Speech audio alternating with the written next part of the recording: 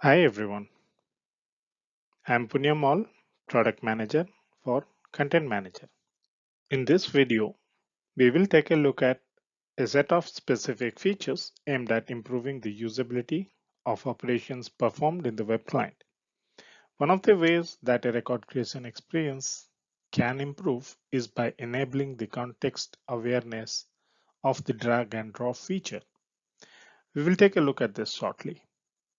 The other feature mentioned here is making the column view a bit more persistent and easier to work with when dealing with large volumes of data.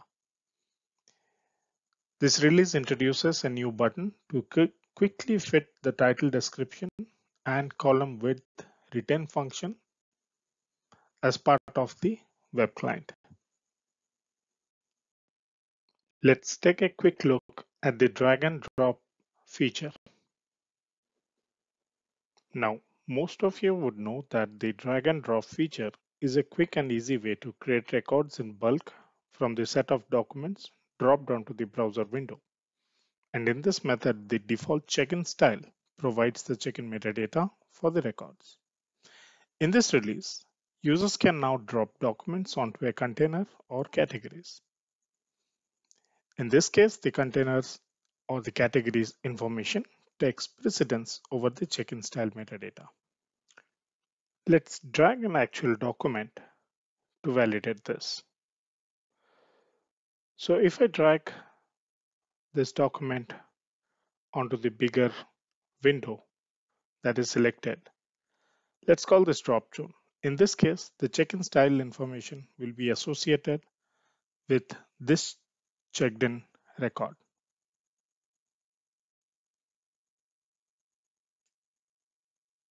Let's repeat the scenario and this time I will drop them onto a specific container that's highlighted here.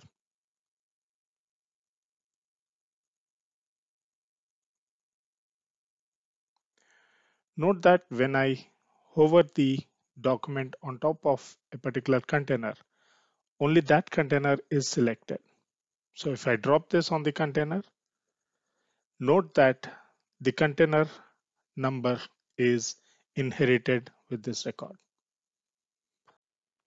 So let's go ahead and uh, create this record.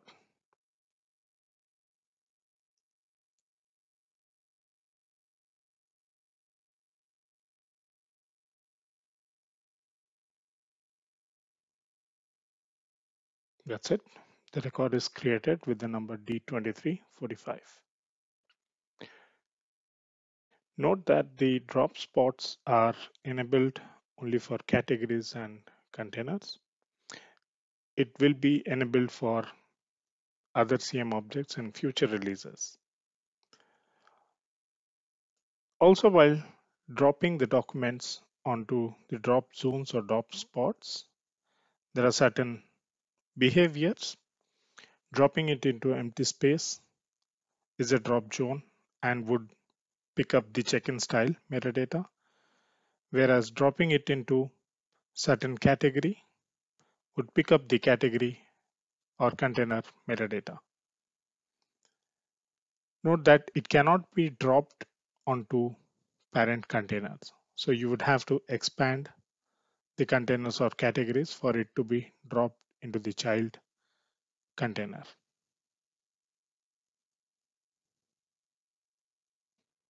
The next set of features that makes working with bulk data a little easier. We had introduced the grid view couple of releases earlier. And with grid view, sometimes the columns are overlapped with each other. Users have to spend time to resize the column over and over again.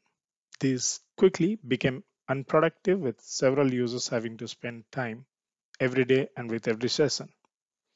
In, the, in this release, a new button is introduced that quickly refits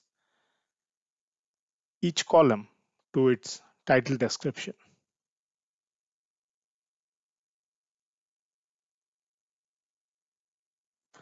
So as you can see, using this button, expanded all of the columns that were overlapping with each other to its title description size. Along with this, we got a column size retain capability. So if I move these columns around and increase or decrease the column width,